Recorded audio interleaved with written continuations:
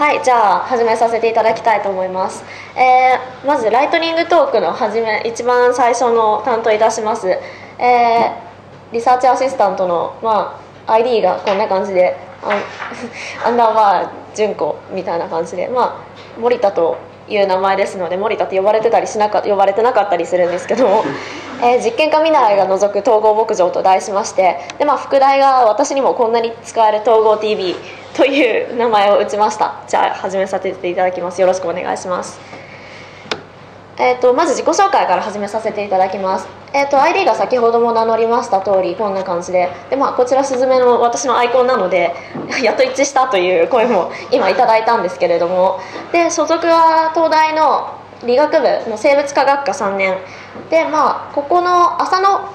がに、えー、とこの DBCLS で入っているんですけどもそのちょうど向かいの建物に学科がありまして普段はその、えー理学部3号館という建物で実験をしています。で常にまあお昼はそこにいて夕方にこちらに来て、まあ、パソコンをカチャカチャやってたりするので、まあ、いつも居場所は朝のということで。でも本職としては学科では、えー分生物学寄りの実験をしててでも、まあ、研究はまだしていなくて実験の練習というか学生実習ですねをやっていました。で研究は今度の4月からになります。ということでウェット系研究室の卵の卵というふうに書かせていただきました。で今日のお話は統合 TV の中でも特に、えーこうこの後のライトニングトークでそれをどうやって作るのかとかそういう話をしてくださる方がいますので私はそもそも統合 TV とは何かどのように使うのかっていうお話をさせていただきます。というのは私がここの統合牧場でそもそも仕事をしているのもこの統合 TV についてということで私の仕事の紹介も含めて統合 TV の紹介をさせていただこうと思います。で統合 TV とはまず何か。でこれは先ほどの犬さんも、えー、と紹介してたページなんですけど 統合牧場のホームページホームページ？でいいんですかね？でここの部署一覧を見ると統合 TV 番組制作部技術開発部美術制作部ちょっとこれユーストの方だと見づらいかもしれなくて申し訳ないんですけども。でこの統合 TV 番組制作部というのが私の所属になっています。で、まあ、統合牧場がそもそもリサーチアシスタントさんの集まりということでその中でも統合 TV を制作するリサーチアシスタントという位置づけが私です。でまあ統合 TV というのはそもそも、まあ、このサイトが基本。統合 TV.dbcls.jp ですね。でこれは何かっていうことでここに一番上のところに説明がありますので少し拡大する。統合 TV とはライフサイエンス統合データベースセンター DBCLS が発信する生命科学分野の有用なデータベースやウェブツールの活用法を動画で紹介するサイトです。で詳しくは初めての方へをご覧くださいという説明があります。で、まあ、ここに下の方からは動画のもうはなんだろうな記事が一個一個紹介されているんですけどもここの初めての方へに飛んでみるとまた別のここの統合 TV キュレーテッドはこちらからっていうこのサイトに飛びます。で飛んでみると初めての方へですね。こんなページに飛びます。でこれはもう先ほどにも説明したような統合 TV とはという説明から始まり長く詳しい説明が載っていますので読んでいただければという。これかなりここ1年ですごく変わったようでものすごく分かりやすくなっていったのでこれはぜひ読んでいただきたいなというふうに思います。でこのページ初めての方への下の方にから統合 TV の歴史統合 TV の使い方といったページに飛ぶことができましてで統合 TV の使い方っていうページをクリックしていただくとこのページの下の方からですね。ここにも統合 TV が何かというものが動画があります。これも埋め込まれてるんですけどこれそのものが統合 TV です。でこの統合 TV の中身はというと統合 TV キュレイテッドを使い倒すということでこのサイトそのものを使い倒すための統合 TV っていうちょっと不思議な作りになってるんですけど見てみると先ほども言った通りの動画でのデータベースやツールの使い方を解説と同じ作りで統合 TV キュレーテッドを解説しています。ここの動画の画面の中に入っているのが統合 TV キュレーテッドっていうことがお分かりいただけるかと思います。でその説明がここにされていますね。でそれって私の役に立つわけ？と、まあ、こういうホームページであることは分かったと。でどんなふうに使えるのか？という話を、まあ、これは説明だけじゃなくて私のようなユーザーだったり、まあ、いろんな人が使っていく中で見ていかないと分からないと思いますので役立ちますともという私の経験からの、まあ、わずかな事例ではございますけども私の経験談から お話をさせていただこうかと思います。でこれ学生実習での体験談なんですけどもまあ多分ウェット系の研究者とか実験をちょっとでもやっている方だったら多分当てはまるようなシチュエーションがあることがあると思います。で、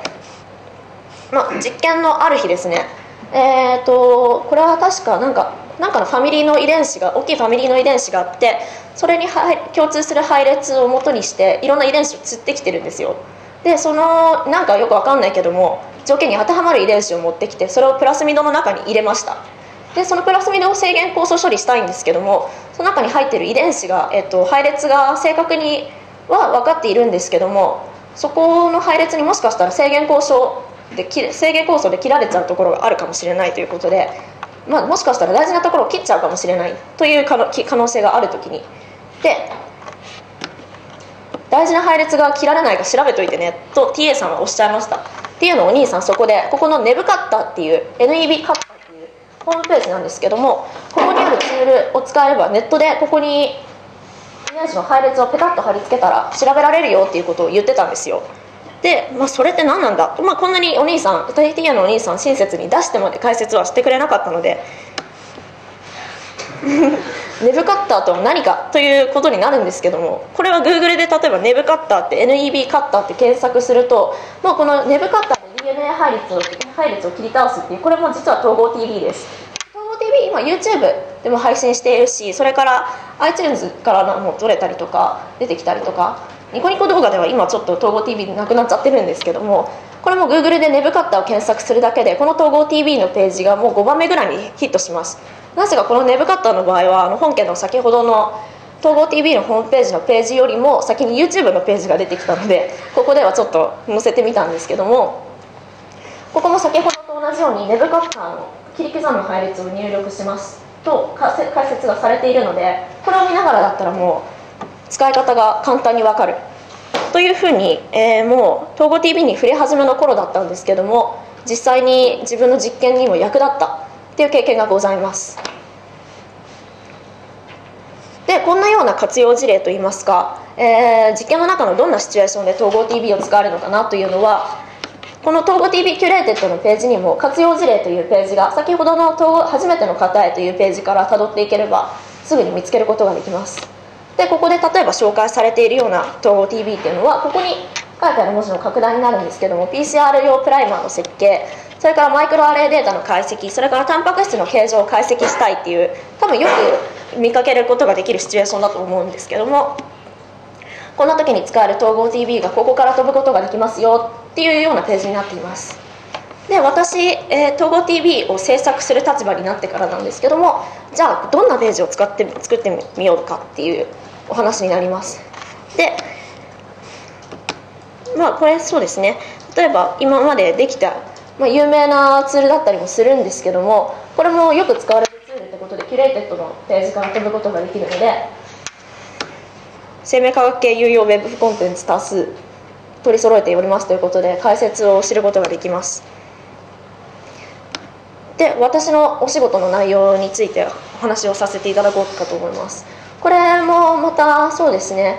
QMOL っていうソフトウェアなんですけども分子の形を見るという、まあ、ここにこれが QMOL のウェブサイトでここは QMOL のソフトウェアの画面が表示されています。タンパク質の構造だったりとか DNA の構造を見たりとか分子の構造を見るようなソフトウェアですね。というのを私は、えー、今統合 TV で作らせて紹介用の動画を作らせていただきました。で実はこの作者の方なんですけども私の学科の先生ということで、まあ、自分の勉強にも役立つでしょうって学科の勉強とも兼ねてということで統合 TV を作らせていただきました。これは私の先生だったりします。でえっ、ー、とちょっと今年、えっ、ー、と去年の秋ぐらいですかねに作った私の統合 TV がこの QMOL2 を、えー、でタンパク質の立体構造を見るというものでこれがもう統合 TV なんですけどもこの統合 TV の中で QMOL を使ってる様子とそれからその解説っていうのを入れています。でさらに今の仕事としては続編制作中ということでその Q モルを使ってより応用的なそうですね応用的な解析だったりとかする使い方を紹介している動画というのを作っている最中のですのでまたどうぞ公開をお待ちください。でまあ統合 TV を作っていてよかったこと。まあそうですね。多分リサーチアシスタントとしてここで働いている方も多く言えることかと思うんですけども今挙げた通りの有用な生命科学系ツールデータベースの存在を知ることができる、まあ、何しろ自分が紹介用の動画を作るので、まあ、どんなことがどんなツールがあるのかとかそれから他の人が作ってる動画から、えー、そのデータベースだったりツールを知ることができてあこれ使えるんじゃないかってことを教えてもらうことができます。でそのツールを知ったところでそれについて勉強するモチベーションが続く。というのが作っていてよかったことの2つ目で、まあ、何しろ紹介するためには勉強しなきゃいけないってことでどんどん自分でそれを役立つため役立てるためにはどういう方法があるのかっていうものを知ることができますね。でそれからすでに動画を作った人も周りに一緒に働いていますのでその人たちから、えー、情報を得ることができたりとかそれから統合 TV から離れても、えーと、先ほどの統合牧場のホームページには、えー、部署の説明がありましてそちらには統合牧場の技術開発部とそれから技術担当部という部署もあります。そちらの話のそのそちらの方は全然統合 TV の制作とは違う仕事をしてらっしゃるので例えばプログラミングだったりとかそれからイラストレーターを使って綺麗なグラフィックを作るっていうような仕事の今まで自分になかったようなスキルの話を聞いてこれは役立てることができるかもしれないなとかそれからこんな考え方があるのかっていうことを知ることができるのも面白いことだと思います。先ほど犬さんのプレゼンにもあった通り和気あいあいとした 仕事場ですので、まあ、カジュアルに話をすることができるのでなかなか楽しいものがあります。ということでこれからも放牧を、まあ、統合牧場で仕事をすることを放牧と通称言っていますが続けてまいりますのでどうぞよろしくお願いします。でまあ、えー、私からのお話は以上です。ご清聴ありがとうございました。